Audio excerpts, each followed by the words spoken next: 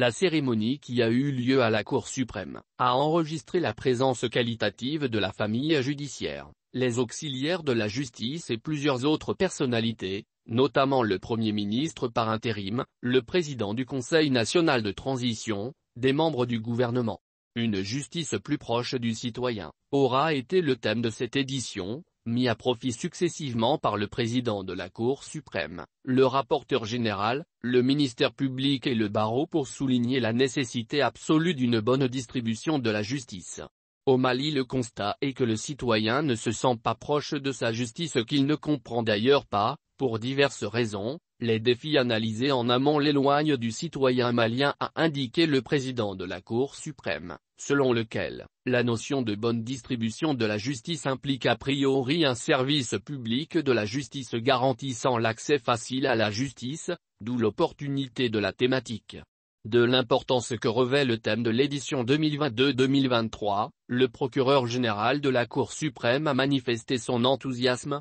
considérant par ailleurs sa symbolique, une symbolique très significative de la volonté du bureau de la Cour suprême, de positionner celle-ci au niveau de l'avant-garde du combat pour la réforme de notre justice. Dans cette perspective, les efforts doivent être conjugués pour bâtir dans notre Maliba une justice forte, citant au passage, pas d'État fort sans une justice forte selon le président de la transition le colonel Assimi Guata. Il est impératif de veiller jalousement à ce que la justice soit plus proche de ses citoyens, à conforter le bâtonnier par intérim, de faire en sorte qu'elle soit en parfaite symbiose avec ceux-là au nom desquels elle est rendue et que ces derniers s'y reconnaissent et la doublent naturellement. Ainsi, selon lui, les Maliens feront désormais confiance aux acteurs qui l'animent et d'accepter véritablement l'institution judiciaire dans son ensemble. Au président de la transition, de rappeler priori, que l'État comme ensemble des gestions politiques, juridiques, militaires,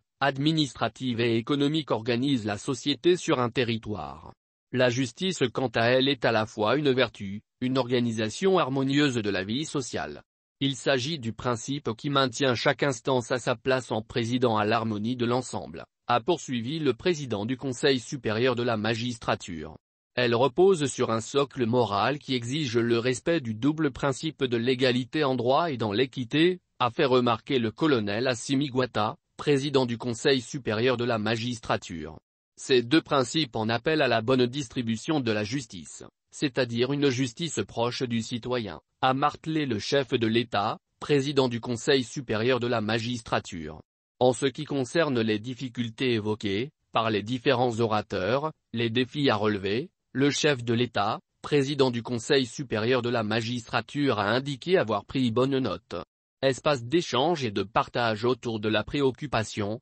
il convient de souligner, selon le procureur de la Cour suprême qu'il s'agit là, de l'espoir de voir le citoyen se réconcilier avec la justice.